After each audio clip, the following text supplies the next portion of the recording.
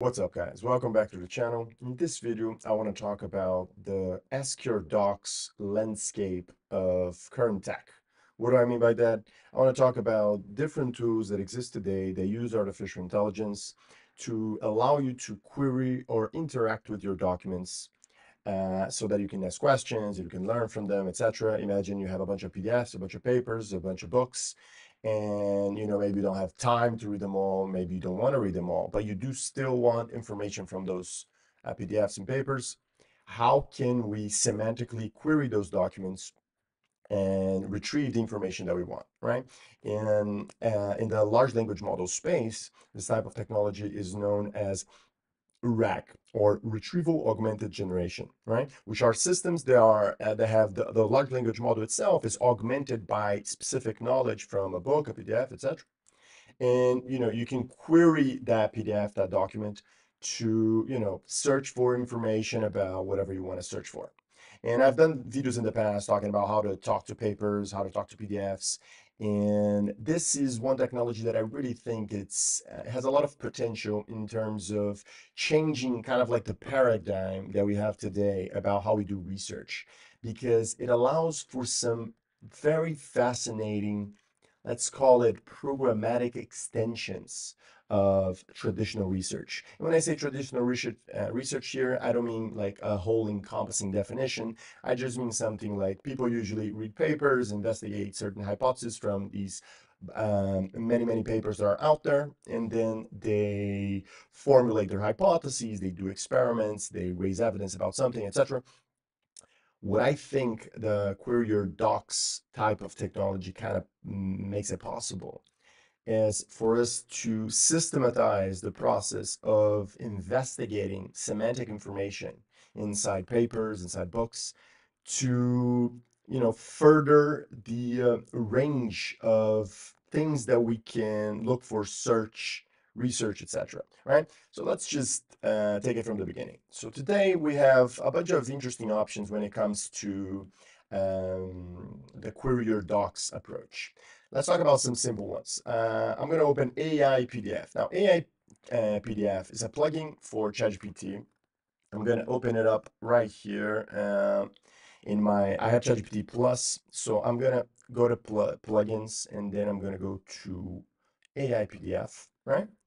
And okay, so now what I can do is I can go to a paper. Let's go to the paper Attention is All You Need, which is the foundational paper about transformers, right? I'm going to go here to the page of that paper. I'm going to copy the URL, and then I'm going to go back to ChatGPT, and I'm going to say, can you summarize this paper, please? And then I'm going to give it the URL, right?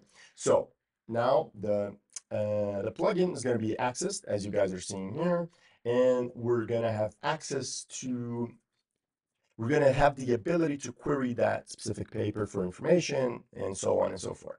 So as you can see, uh, the plugin is already has already been called and, and, it's already ran. And now it's saying, oh, so the paper is attention is all you need. It argues that the architecture, the transformers architecture is based on attention mechanisms outperforming existing sequence transduction models that rely on current convolutional neural networks. And then it gives some wonderful key points. As you guys can see, it's, it works great, right? And I can even come here and ask specific information about the paper. So for example, let's go to the paper real quick. Uh, I could go here to paper, say on the architecture, and let's say, what are the layers involved in a transformer architecture? Let's ask something like that. Okay, so what are the layers involved in the transformer architecture discussed by this paper, right? So I can ask information like that, and then it will give me a reply. So it will say the transformer architecture discussed consists of an encoder and decoder, each made up of multiple identical layers, and then it gives me some specific information about them. So it works, it works great, right? Um, Another option that I wanted to show you guys is a famous one called ChatPDF, which has these very nice um, conversational interface for you to interact with the paper. So we can do the same thing. We can come here, copy the URL, go back, and then from URL, paste this, run. And ChatPDF is really nice because it already opens up in this chat interface. You can have the paper here on your left, and you can have the uh, chat interface here on your right.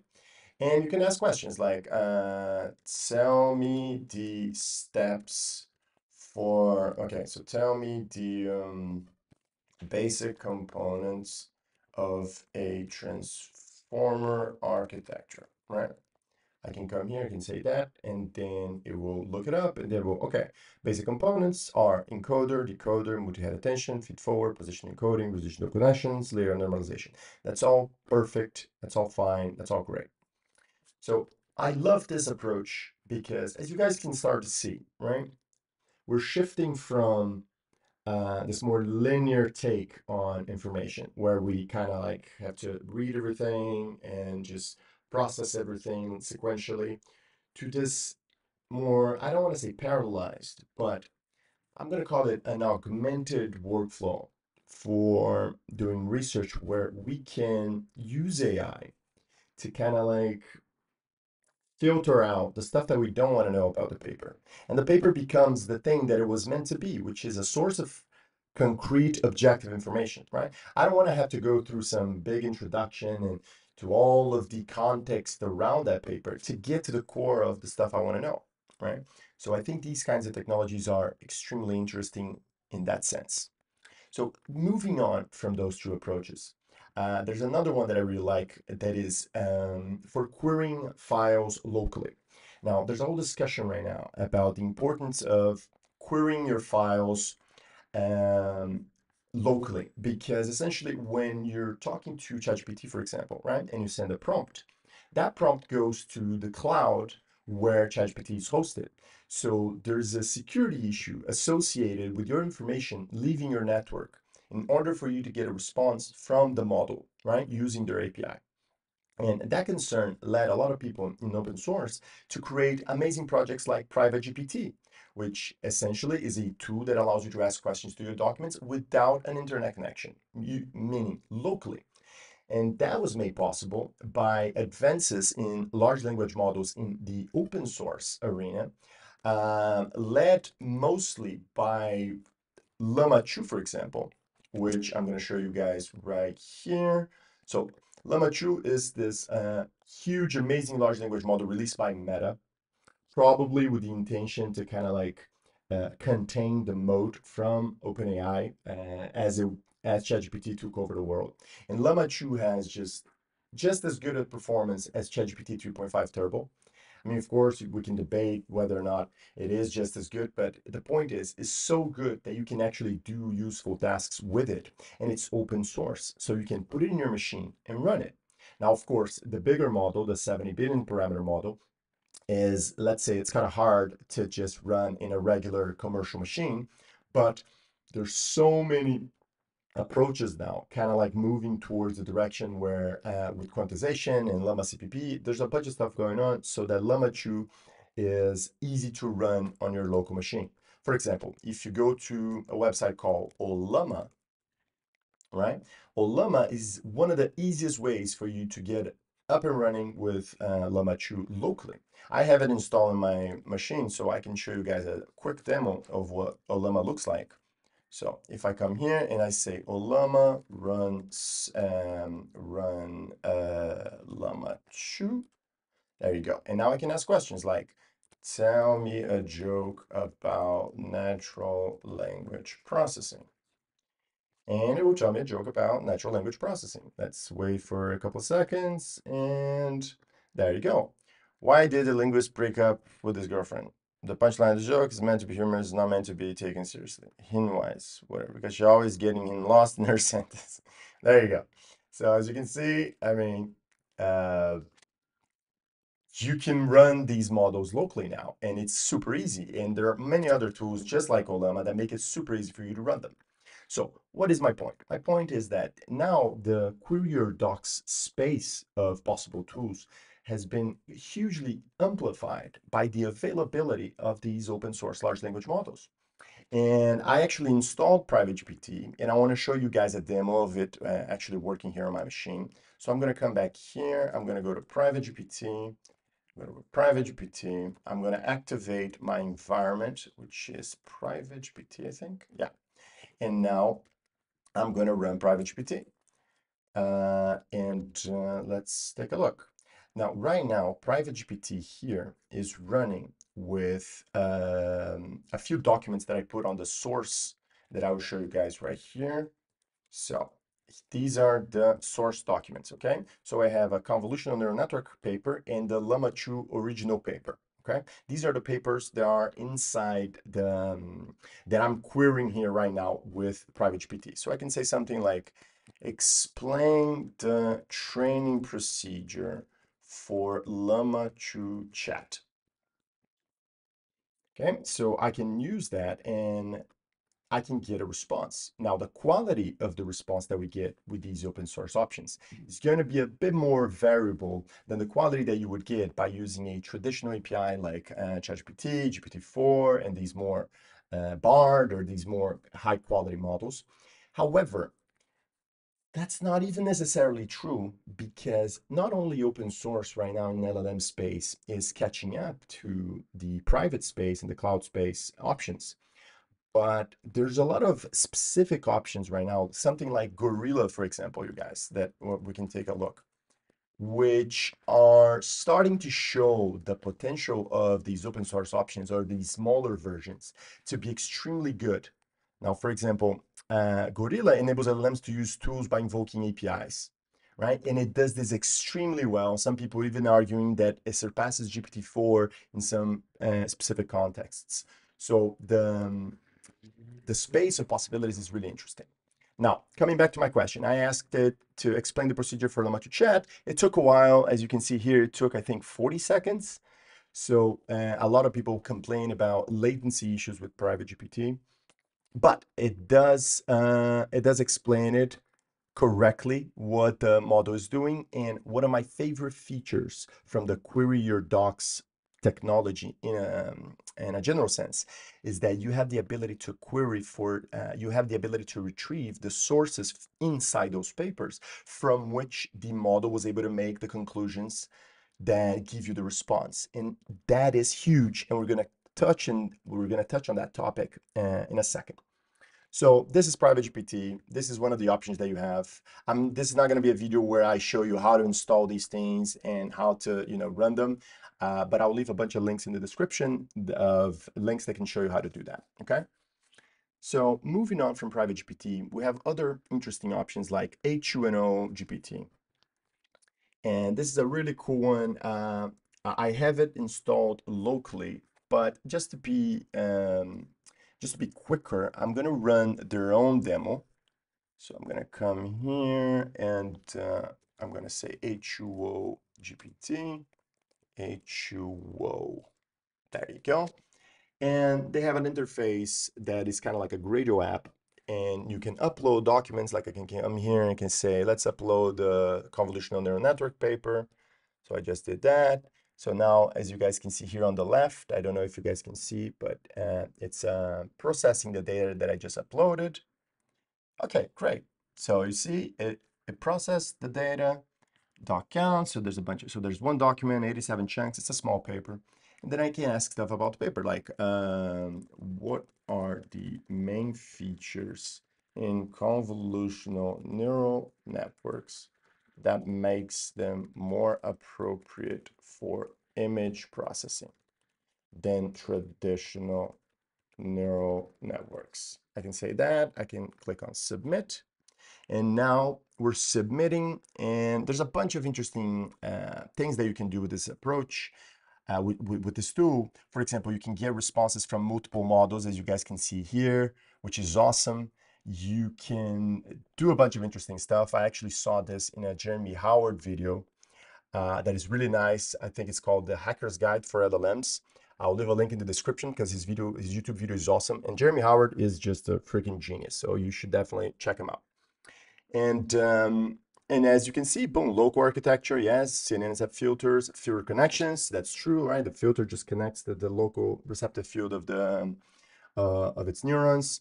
So as you guys can see, and we can gauge the quality of the responses of different models. Like we can see GPT 3.5 be compared directly to uh, Llama 2 70B chat, right? And uh, this is another wonderful option that you have. Don't worry, I'm going to leave a link uh, for all these options. So this is not really the point of this video.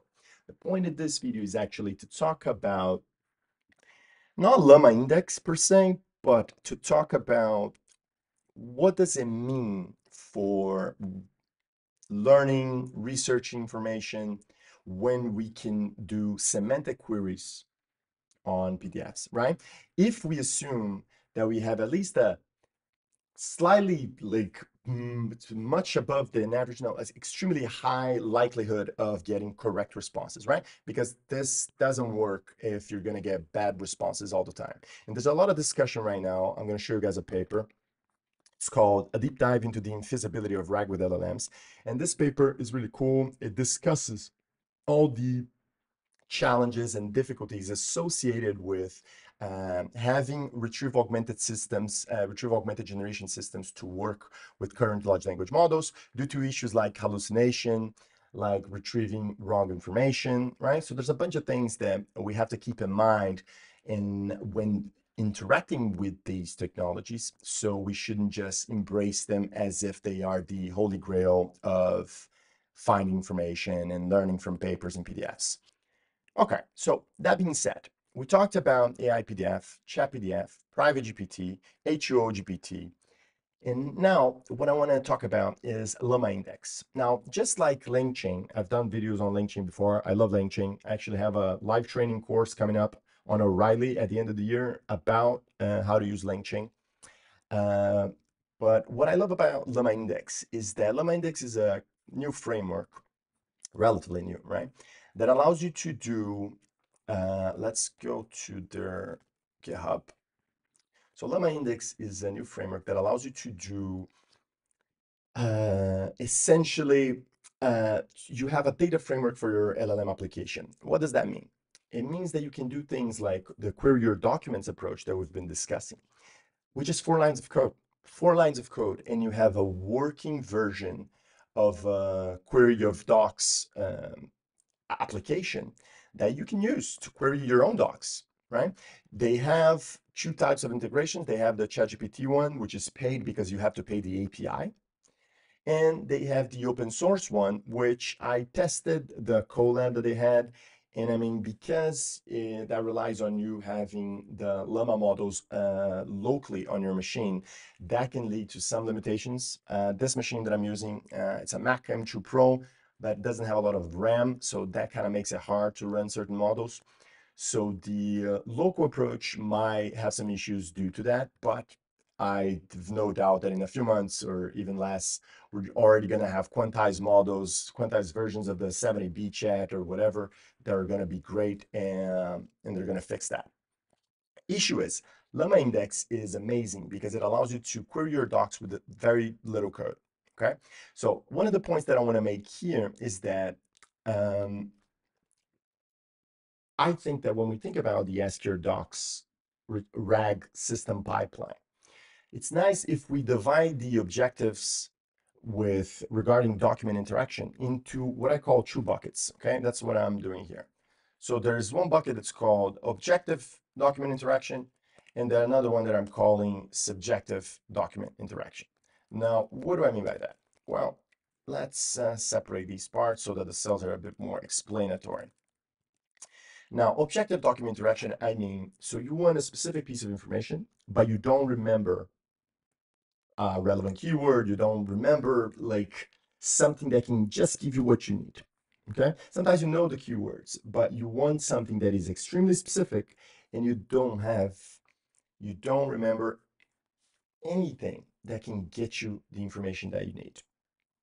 And there's subjective document interaction. Now, subjective document interaction is you want to discuss something based off some foundational, some like commons, um, some common texts. Uh, what, what do I mean by that? Uh, I mean, let's say you want to write a book about, I don't know, uh, the biology of volcanoes or the ecosystems of the ocean, whatever it is, right? And you have a few papers, you have a few books, let's say.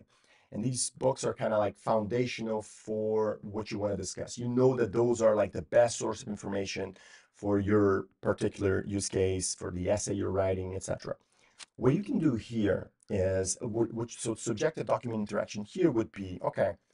Uh, I want to discuss with some model, ChatGPT, Llama, whatever it is, uh, the ideas that are here, right? You don't want to query specific information, but you want the model to be aware of the contents that are inside that document or, or those documents, right? So that's what I'm calling subjective document interaction. But that's not just that, right? You, uh, for example, open-ended learning, where you want to learn some concepts and stuff, but you don't necessarily want anything specific. That's subjective document interaction. Uh, objective document interaction would be you have a math book and you want to query yourself on linear algebra and you have a great book with a bunch of interesting uh, like concepts and exercises etc and maybe you want to um, uh, ask the model, hey, give me like, uh, create five exercises from this book where the answers can be found inside the book. That would be an objective use. And you can also do subjective quizzes, like, for example, look, based on this paper or in these couple of papers, let's um, uh, create a quiz of questions that I could answer with information that's inside those papers right? That would be a subjective interaction. That's what I'm calling subjective document interaction. Now, for now, what I would like to do is discuss the first part. So the first part is what I'm calling the first bucket, which is the objective document interaction, right? So in the, in the objective document interaction, you can have pragmatic use cases like let's say you want to find a contract that mentions something, so you have an embedding of those documents that you have, your personal documents, and you say, ah, I need that contract about that thing, and then boom, you get it, right? Or ah, I need an invoice of etc. Whatever it is, if there's text inside of it, you can embed it and you can have a Ask Your Docs pipeline working for you and you can find them. Now, what about learning and research use cases. Now, here is where what I we would just talk about. It's the um, you want to find objective information, so you put in the papers like we just did about convolutional neural networks, and you query the model for objective information inside. Now, even though current technologies are kind of like almost at the point where they're very well suited for these use cases. We gotta take some precautions. At least if we're like building an app that other people are gonna use, right? If you're not doing something just for yourself. Because uh, because of hallucination, because of the fact that it, these systems are not 100% reliable, right? And there's a bunch of issues associated with how the embeddings are constructed, how the models query those embeddings, etc.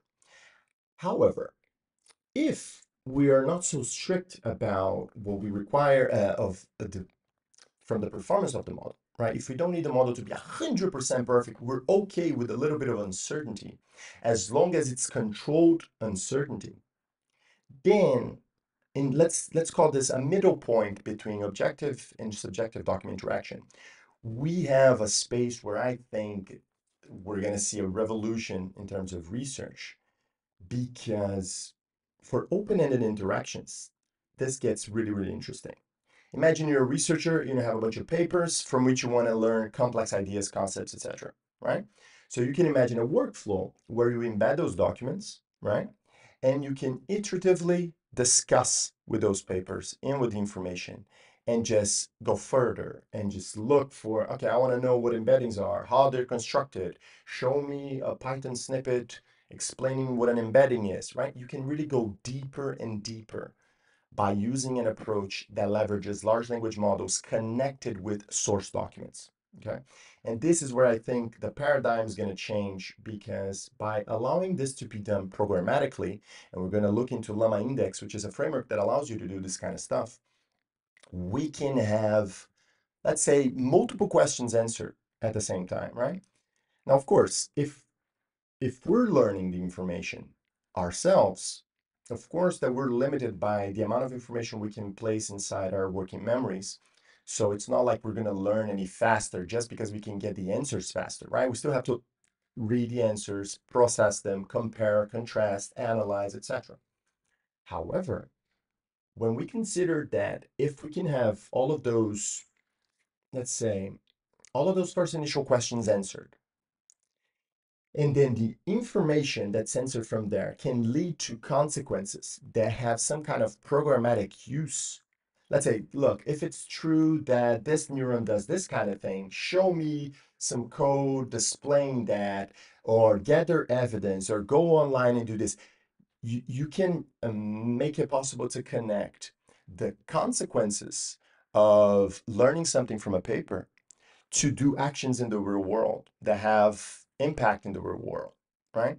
And that can be amazing for research, right? You could use it as triggers for searching evidence about something or looking into hypotheses more uh, specifically, as well as obviously for you know being productive and and logistics and business and stuff like that. But I'm more interesting. I'm more interested about how it can augment our ability to learn more things but not lose on the depth, right? I don't want to just learn a bunch of information. I would like to like keep the ability to hold on the depth of what I'm learning, but I would like to know what's possible once we can have models that can semantically process so much information at once.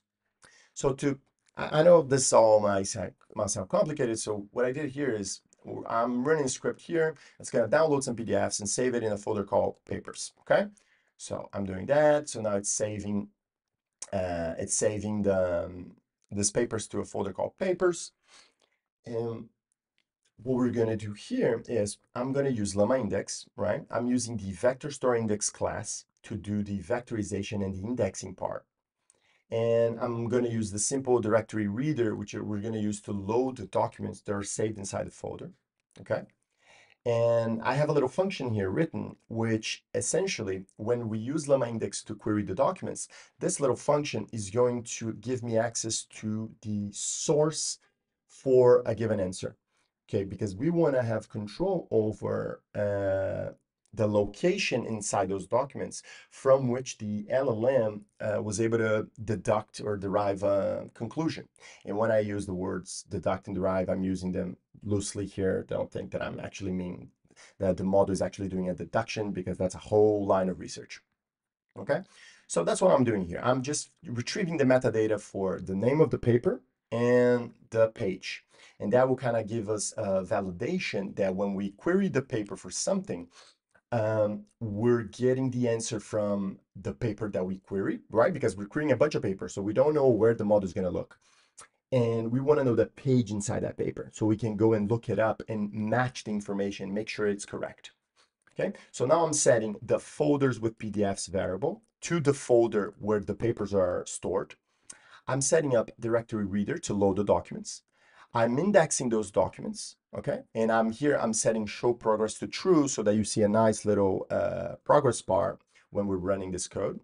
And then I'm uh, setting up the, um, the query. So now I'm gonna have a query engine, right? That comes right off the indexing that we just did with vector store index. So I can run this. So now it's gonna take a few seconds and there you go. So now it's parsing documents. It parsed the documents into nodes because Llama Index divides the, the representation Llama Index has for documents. It's called nodes. That's the smallest chunk uh, upon which Llama Index does transformations and stuff to uh, to documents, and also doc has documents which are composed of a bunch of nodes. So it did that. It generated embeddings. So now we're ready to query, right? So I prepared a few queries here and actually use GPT-4 to generate these queries. So I generated them uh, programmatically, but I'm not going to show you that part because I think it's uh, besides the point. And these are queries related to the papers that are inside. The papers inside there are like LLMs, attention uh, is all you need, a survey on transformers, scaling transformers, parameter efficient tuning, a bunch of stuff that I gathered, a bunch of sources that I gathered from a great blog post by Sebastian Raschke. I hope I'm pronouncing his name correctly. And uh, the blog post called Understanding Large Language Models, a Transformative Reading List. So I, I gathered like a few papers from this post, which is really good. And I advise you to, to take a look. I'm going to leave a link in the description. This paper is really good. I'm going to put it here. Source for the papers. And I'm going to put it actually over here. There you go. And now I'm going to loop over those questions and I'm going to query and then I'm going to print the query and the answer. And then I'm going to just print some stars so that we can see that kind of like divided. So that's the query, significance of attention mechanisms and language models, discuss attention is all you need. And then we get an answer. And then we get an answer. So um, interesting thing here, for the scaling laws for transfer, the there wasn't a lot of prior knowledge, so the model did not find a lot of relevant information for this particular question, but it's all right. So this one, training language models to follow structured human feedback. It found the model. This is one of the foundational papers, and I have it in my in the documents here. Okay, so we have answers to all of these questions, right? Now, just stop stop to think about what that means. We just answer them, and imagine that we could trust these answers 100%, right? That means that I could do something like Let's, let's take a look at this example. Scaling LLMs presents several challenges as identified in the context. These include issues related to factuality, toxicity, helpfulness, bias, privacy, misleading expertise claims, and potential for use cases. Okay, so let's take this answer, right? And here's what we're going to do. Um, we are going to, let me just do this, response, let me just, yeah. So this is how we get the string from the response. Okay, so now I'm going to do something different. I'm going to use the ChatGPT API just because. Okay, so I'm going to uh, write a little function here called get response. Then it's going to take in a prompt. And then here it's going to say, um, I'm going to have to open import OpenAI API. This is, I'm, I'm experimenting actually on the fly. I did not prepare this part of the presentation here for you guys for this video. Um, just, I just want to show you guys what, what could be possible, this kind of stuff. And let's, uh, I'm going to just open my GIST with the ChatGPT um, API so that I don't have to write it from scratch. ChatGPT API, call to ChatGPT. There we go. I have it here. So now I'm just going to paste it. Perfect. And open API. So now let's just test. Um, let's just test this function that I just wrote. So I'm going to say uh, what do you think about uh, just let's just test it. So tell me a joke. Well, we're going to test the API call to see if it's working. Beautiful, it's working. So now what I'm going to do is we're going to take the response that we got. Remember, scaling LLMs prevents several challenges. Okay.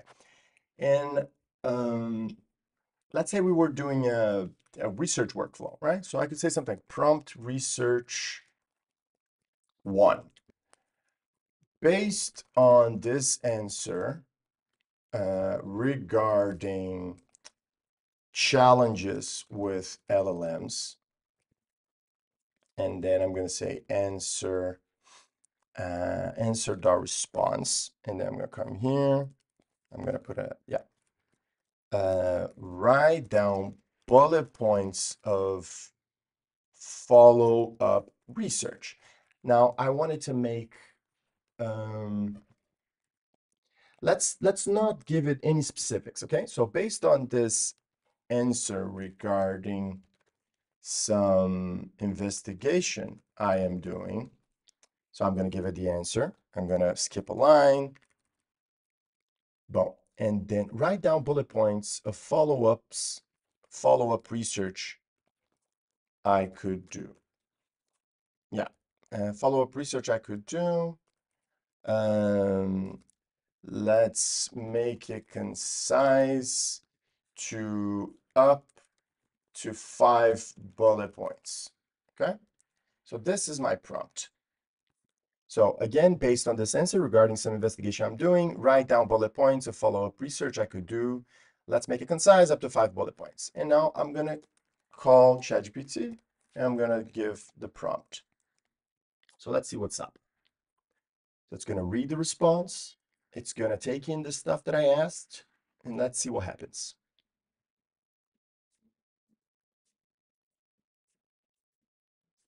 So now it's taking a while because the, the token length here is kind of big. All right. So we have the answer. I'm going to copy here, put in a markdown, as you guys can see. And there we have it, guys. And if this is not blowing your mind right now, I don't know what will. I'm just kidding. But why do I think this is so cool? Let's just take a look at these answers, right? So, number one is said investigate and apply fine tuning methods in the context of various large language models to explore potential improving performance, alignment with human expectations, considering different types of human generated. Pa, pa, pa, pa, Okay, let's have the answer from the query uh, here, kind of like, yeah. And I'm to just copy here, put it in Markdown. And uh, let's say presents many challenges. The challenges include factuality, toxicity, helpfulness, bias, privacy, misleading expertise claims, and potential for malicious use. These can be addressed by various approaches, fine-tuning, reinforcement learning with human feedback. Okay, so then the follow-ups were investigate, apply fine-tuning. That's that makes total sense with the answer. Conduct an analysis of reinforcement learning with human feedback. That's perfectly aligned with what was said in the answer.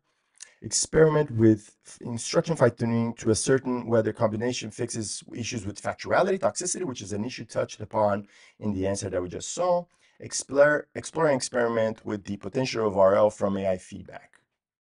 So as you can see, we go from an answer to a question that we obtain from a PDF, writing to, okay, what needs to be done, right? Straight into, okay, these are the options.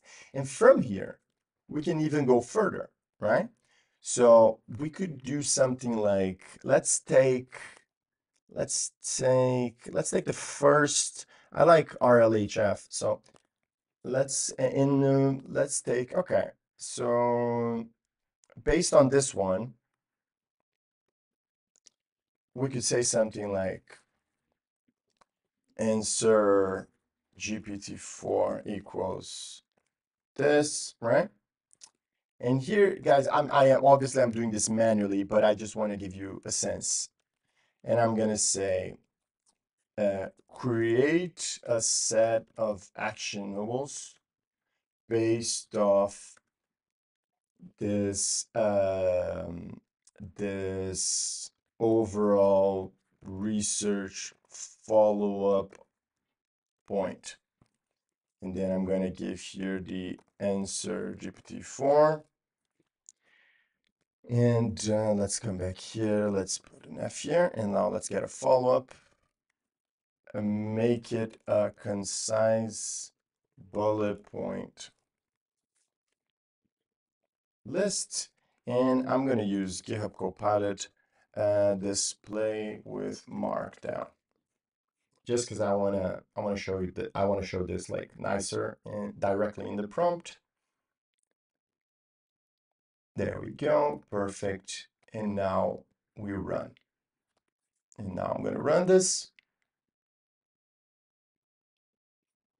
It's GPT-4 actionables. Ah, but it, it kind of, okay, let's, never mind. uh, git. Okay, that was dumb. Okay, let's just do like this.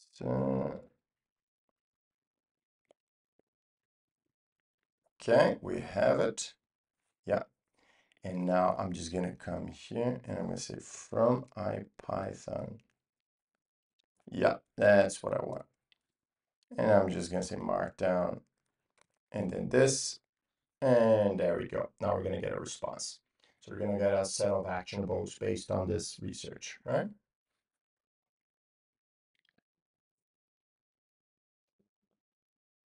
So now we wait for a few seconds while we obtain the response. And we should see a response in a few seconds. Let's go, let's go, let's go. There you go. Conduct literature review, set up parameters, detailed planning, model preparation, run a pilot test, full scale, data analytics, comparative document files.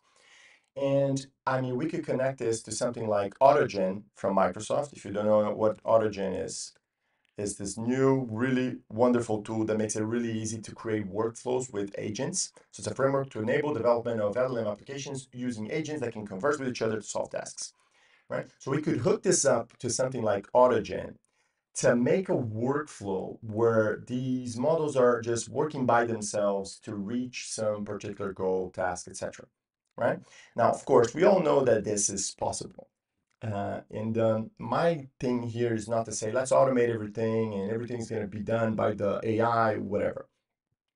My point here is to showcase that the um, amplitude, the range of things that one individual can do today, if that person uses these models intelligently, is just so absolutely mind blowing that I just find it fascinating. And I think that Query Your Docs is a really fascinating and key type of technology that we're going to see enable some really cool advances in research beyond just making you more productive.